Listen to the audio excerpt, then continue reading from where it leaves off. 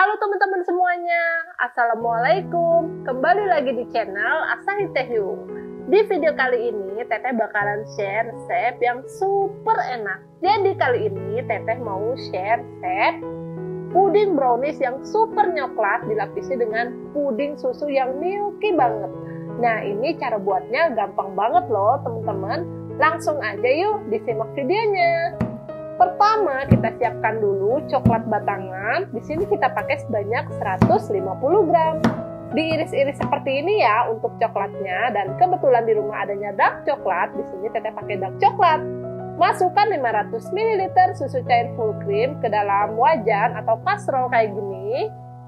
Kemudian tambahkan gula pasir sebanyak 100 gram dan juga masukkan satu saset atau sekitar 7 gram agar-agar. Aduk rata Nah, teman-teman, ini kita masak dengan api sedang ya. Jangan lupa dimasukkan coklat yang udah kita potong-potong tadi. Di sini kalian bisa pakai dark coklat atau yang milk coklat. Tapi biar rasanya bener-bener coklat banget, di sini kita pakai yang dark coklat kompon. Ini kita masak dengan api sedang ya, teman-teman. Jadi tadi Sebelum dinyalakan, diaduk dulu sampai tercampur rata antara agar-agar dan gulanya. Dan baru deh kita masak sampai coklatnya meleleh. Sampai semua bahan ini tercampur rata. Sampai warnanya menjadi cantik kecoklatan seperti ini. Nah teman-teman, ini kita masak sampai benar-benar mendidih ya. Masak sambil sesekali diaduk. Dan kalau udah mendidih kayak gini, sekarang langsung aja kita angkat tuangkan ke loyang atau cetakan. Di sini tetap pakai loyang ukuran 22 kali 10 kali 7 cm. Nah, loyangnya bisa kita kasih sedikit olesan air ya, teman-teman. Tentunya airnya yang matang. Ini kita diamkan sampai dingin. Sambil nunggu, sekarang kita siapkan susu cair lagi sebanyak 300 ml. Masukkan gula pasir. Dan jangan lupa nih, masukkan agar-agarnya. Ini kita aduk dulu sampai tercampur rata atau langsung aja kita nyalakan api kompornya. Nah ini kita masak sampai mendidih juga ya.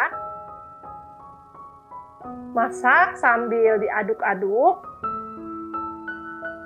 Nah, teman-teman, kalau udah mendidih, ini tinggal kita angkat, lalu kita tuangkan di atas puding coklat atau puding brownies tadi. Kita tunggu sampai benar-benar set, baru dimasukkan ke kulkas setelah pudingnya set nih teman-teman, tinggal kita keluarkan aja dari dalam loyang atau cetakan.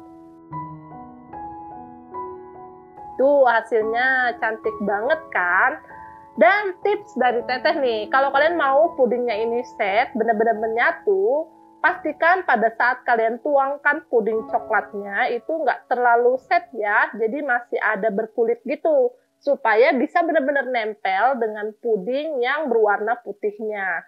Karena biasanya problemnya teman-teman, pada saat kita tuangkan benar-benar terlalu set, biasanya malah misah loh. Atau ada cara lain kalau udah benar-benar terlanjur set, kalian bisa panaskan lagi atau bisa juga ditusuk-tusuk untuk puding coklatnya supaya benar-benar nempel dengan puding yang rasa susunya tadi.